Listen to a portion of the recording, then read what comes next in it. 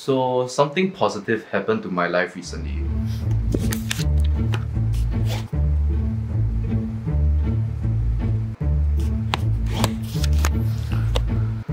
I guess you guys know what that means. Token COVID vlog.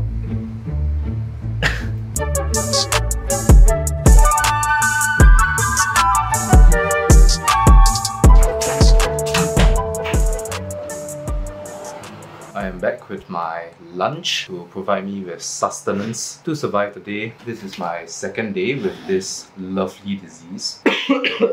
Feeling way better as compared to the very first day. I swear I went from like a 0 to 100. I felt a little bit weird in the morning and I took my test and it was negative. And then after that I went out to help do some work for my internship. And then I midway through I was like, okay, this is not it. I am feeling like shit. I'm gonna go back real quick and check my temperature. And voila, I hit like a 39 degrees. I can't even remember the last time I had a fever that high. I essentially just spent the whole day that day sleeping. Slept throughout the afternoon, slept throughout the evening. Didn't even eat dinner. I also refused to take Panadol because a fever is actually your body's response to a virus or disease. And it intentionally heats up your body such that it can kill the viruses or provides your body with an optimal temperature to, I don't know, recover. Please correct me if I'm wrong or just Google it yourself. So yeah, I'm going to be stuck at home for the next two days or so. I've been awake since the morning and I'm already really bored because I can't exactly do much now that I'm sick. Let's see where this video takes us, yeah?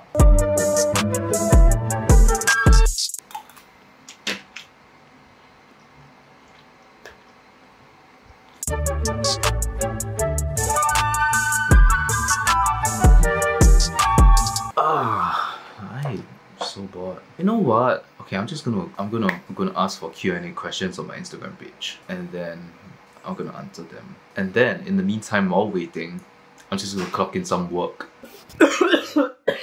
oh Jesus Christ. Oh boy. Me. Haha! Let's go!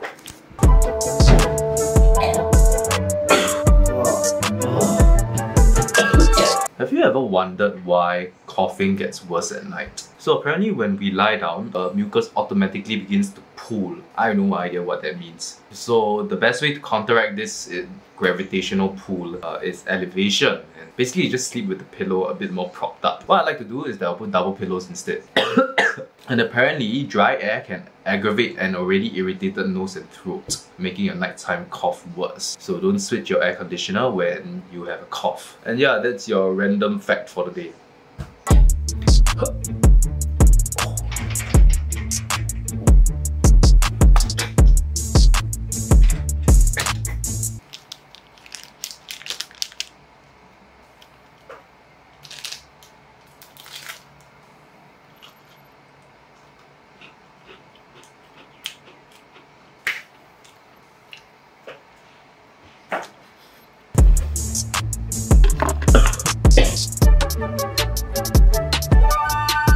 Just got up from another nap. It is 4.54 p.m. I'm still bored, I'm still sweating. gonna go check out all those questions that you guys sent in. I'm gonna move to somewhere a little bit more comfortable. Favorite animes: Attack on Titan, Full Metal Alchemist, Brotherhood, Mob Psycho, Kinutsaji, Silver Spoon. Will you ever sell out your content if a brand you don't like approaches you? Hey, if a brand that I do not like approaches me, I'll probably not entertain them to the point where I would collaborate with them. To me, it would be pretty immoral if I were to push out a video selling a brand that I personally do not believe in or it's a brand that I personally do not like. To me, for me to push out a collaboration with a brand or something, there needs to be a mutual benefit to three parties. And this is something I learned from one of my favorite YouTubers, I think Mrwhosetheboss or MKBHD, I'm not sure which one. I would personally only do a sponsor post if it's beneficial to me. It is beneficial to the brand and lastly if it's beneficial to the audience. I can go into detail about this in the future but but I'm a bit lazy because yeah I'm sick and stuff. How do you earn for a living? Is there other jobs you do other than YouTube? I'm still a student so it's not something I'm worrying about at the moment. Still on the Papa Mama college scholarship. Food recommendations in NUS. I'm getting tired of all food. Um, there's a new wok place that opened up at UTown. Foodclique that's pretty decent. You might want to try that out. I do have a video coming up with NUS where I'm going to be showing you guys some of the most affordable foods you can find in the NUS canteen, so uh, be sure to stay tuned. Is Chowgoyaki real? Chowgoyaki can be as real as you want it to be. How's life? Life is tiring, sometimes in a good way, sometimes in a bad way. This disease nonsense has forced me to slow down a little. I can't exactly slow down because I still have a lot of things that are due. So I'm still trying to do work but I'm still very tired. So it's tough.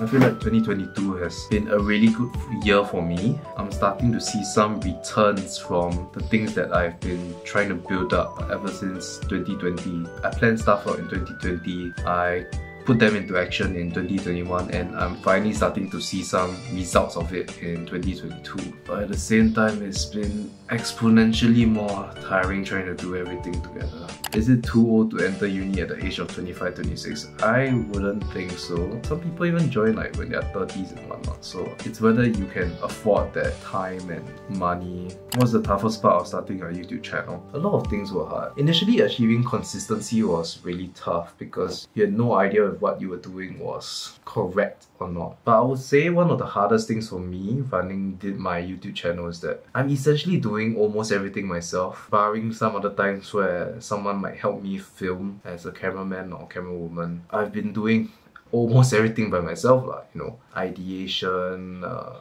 filming, editing, and typing out the video descriptions, and adding the video cards and the end cards, and yeah, contacting people, you know, settling emails from clients, the back and forth, doing up proposals. That's it for this mini Q&A session. I'm gonna go cook some dinner right now. See you guys in a bit.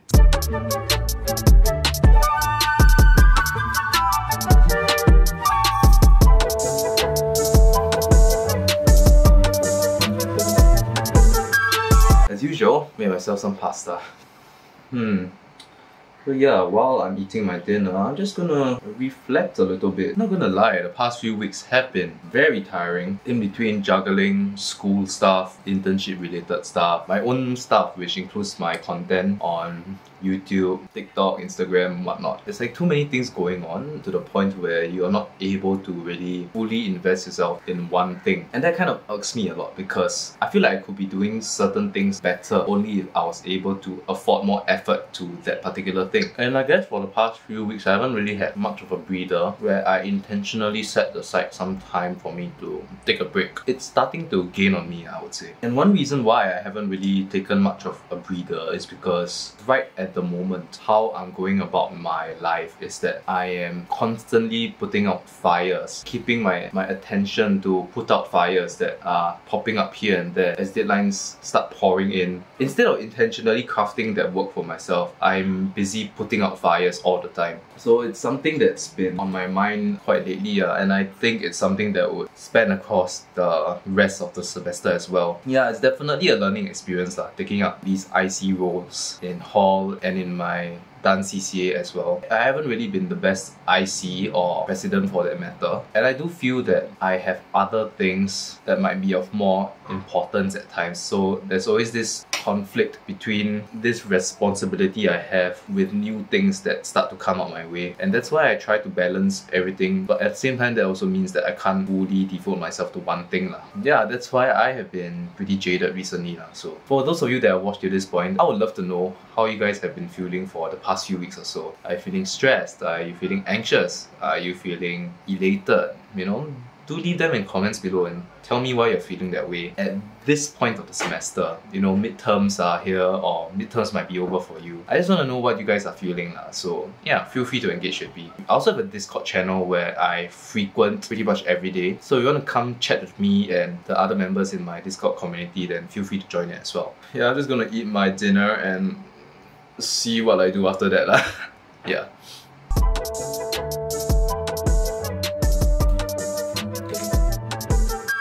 It's Sunday night right now, and since I'm stuck and bored in my room, I'm tuning into a Twitch stream right now of my friend Denise, otherwise known as Supercat Kei. So if you guys don't know about Supercat Kei, she is an amazing streamer. She started her streaming career just a few months before I started on YouTube, and she's become one of the top streamers in Singapore. Insanely, insanely talented woman. She's yeah. I'm just gonna answer a few more Q&A questions before I end off day two of my COVID vlog thingamabob thing. Wow, this angle does bring me back to the days when I was you know, doing vlogs in my room and not in hall. Chloe Gill says, why are you isolating? This is why I'm isolating, Chloe. What do you do to find your inner peace? It was passed on to me by the masters of inner peace and meditation. These inspirations of mine have an unrivaled inner tranquility to find their inner peace and they are really masters at what they do especially at you know selling insurance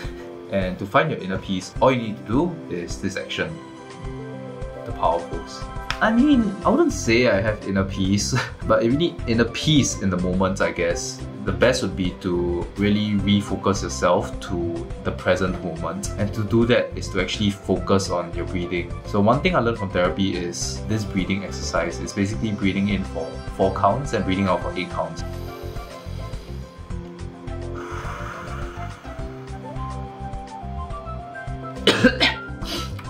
Uh, and you want to repeat this for about 10 to 20 times. And what it's supposed to do, it's supposed to make you actually think about breathing. And what this does is that it takes your mind to actively think about breathing and keeps your mind engaged in that way so that your mind does not think about other things. I know it may sound very fluffy, I totally sound like some full meditation fake guru or something right now, but you know, it does work. It actually does work, especially if you're feeling a lot of stress in that moment. Ooh, Chow Jiahui. What's your deepest fear? My deepest fear is the ocean because the ocean is very deep. I actually think I might be afraid of the ocean. I can't wrap my head around the idea that, you know, let's say I swim somewhere deep in the ocean and I look down and there's just no end in sight. It's just very scary to me, you know?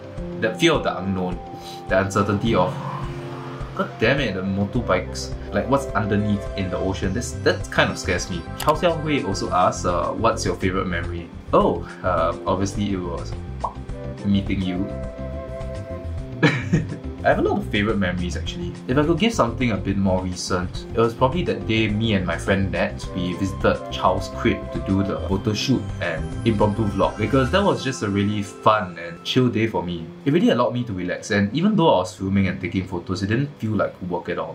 It was just like, you know, hanging out with a bunch of friends. That day itself, it actually kickstarted a lot of things uh, coming into 2022, which I'm sort of still reaping the rewards from, I guess. I discovered a new way to vlog in that particular video, and I've been continuing to vlog in that sort of manner ever since then. I mean, there are other favorite memories I have, but these are things that I might want to keep a bit more private from the camera as of now. Fun fact, that video wasn't actually the first time I vlogged with Chow. It was actually when I first took photos with her at Changi Airport. I call the series Airport Chow. I'm going to roll the clip and bring us back to ancient times, 2021. Are you close to your family? Relatively. Hey, Chow.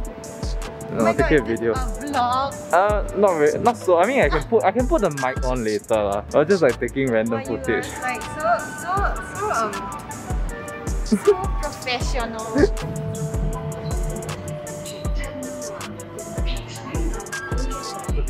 Oh, we are on the student round. I am shy. I'm actually very camera shy, did you know? Are you serious? Yes. Are you serious? No, I'm not. You're not shy. Come No, I'm not. So today what do we do? We went to T1, we went to T3 and here we are in Jewel. So we took a couple of pictures based on what Dago said. Apparently I look ethereal. ethereal. And also, wait, one more thing, very important actually. So we talked a lot about like how it's important to live a simple life, right? Yes. Yes, and also about how hustlers are like in uni. I feel like it has been so long since I have even been in a school environment, right, that I've forgotten that students can be pretty damn crazy also lah. So thanks for sharing all your student thoughts with me. Sure thing. Okay, okay, Tam, if you are watching this, right, if you ever, I will just send this to you. If you're watching this, right, this dude here is like your biggest fan ever. Please meet this guy one day, okay? You know Tamago? You know him? He's my schoolmate. He was my schoolmate in JC. I mean, but you interacted with him. We were like batchmates and stuff. Back when Dago was still a fetus and Charles still at Banks. Hmm. And yeah, with that, I think that's it for this day 2 COVID vlog. I don't know whether I'm going to be vlogging my other days with this disease. Uh, hope you guys enjoyed it. Catch you guys in the next one. Peace!